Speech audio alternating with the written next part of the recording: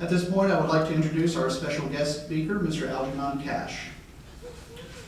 Algenon is Managing Director for Wharton Gladden, a boutique um, real estate banking firm. In 2003, Algenon and a group of private investors created Wharton Gladden to provide small and business middle market, small and middle market businesses, owners, real estate directors, developers, and investors with commercial mortgage banking, private equity, and capital markets advisories. Today, Wharton Gladden has strategically advised clients on over $1 billion in whole loan acquisitions and liquidations, and the firm has successfully closed over 125 million in multifamily and commercial real estate loans. Algenon serves on the board of directors for TREBIC, an association that is dedicated to promoting economic development, balanced growth, and protecting private property rights.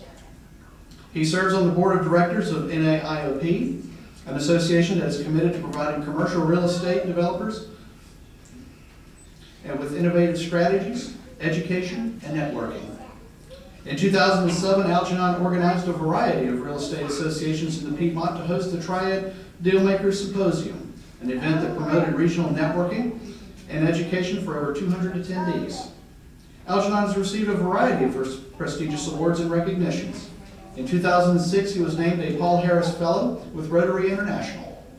In 2008, Business Leader Media named him one of the 30 Triad Movers and Shakers and one of 24 impact leaders in the real estate industry.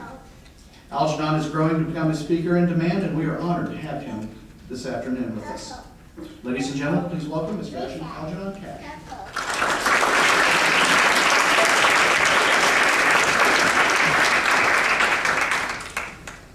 Thank you, um, Larry, for that, that great and warm introduction. Um, before I get started, I um, would definitely like to take a moment and just thank Candace Fisher for thinking about me and asking me to be here with you all today. I also want to express my gratitude to the faculty uh, that I was able to meet when I toured your facility. I'd like to thank them for their extreme hospitality when I came over to visit. And lastly, I recognize that today is a milestone in the lives of all the graduates and their families, and I appreciate each of you for allowing me to share my time with you all today.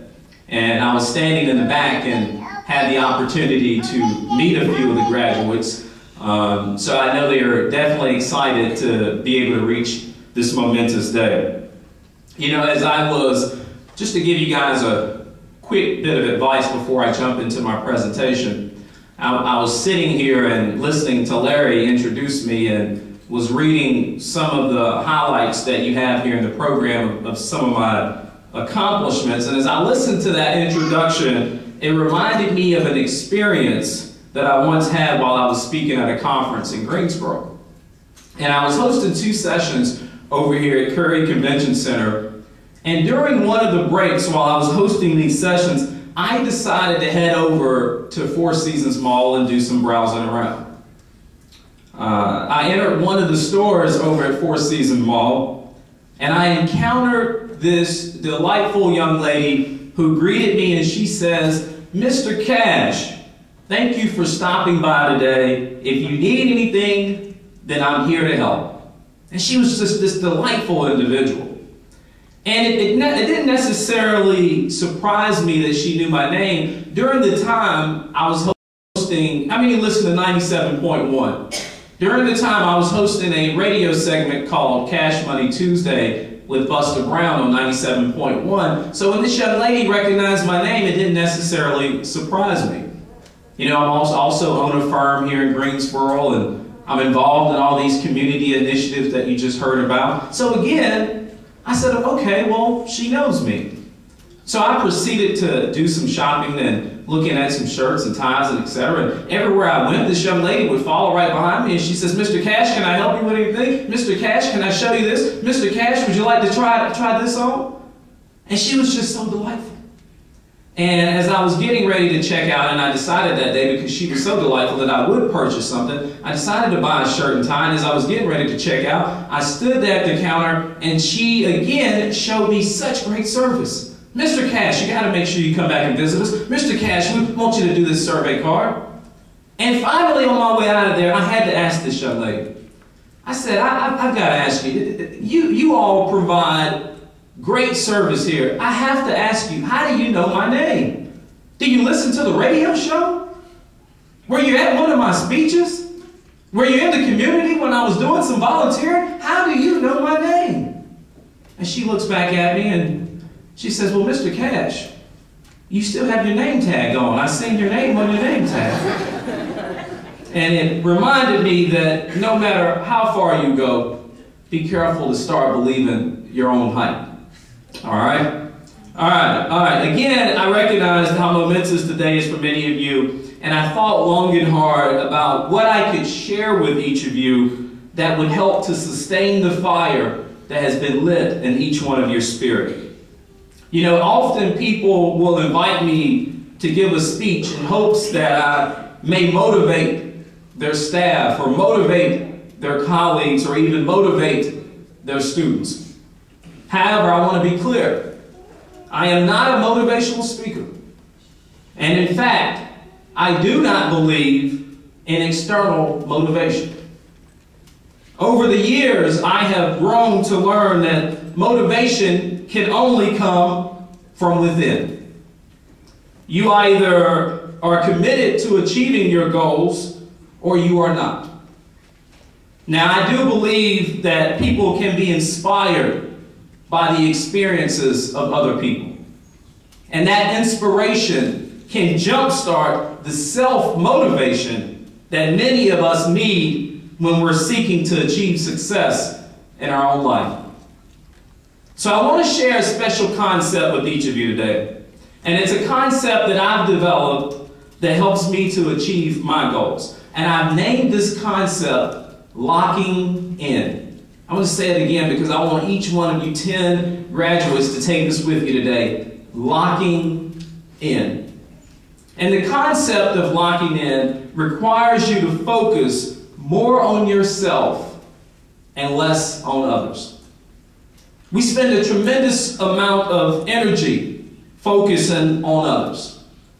We waste our precious time trying to fix our friends, fix our spouse, or even fix our loved ones.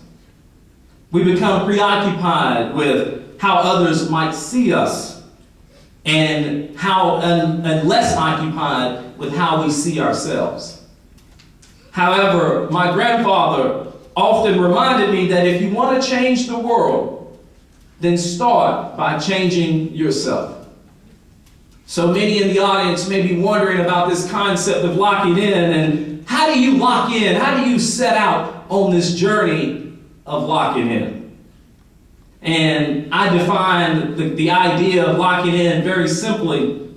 It all comes down to understanding the power of purpose the importance of having a vision and the necessity to understand what your principles are so that you can gain the stability that you so desire in life.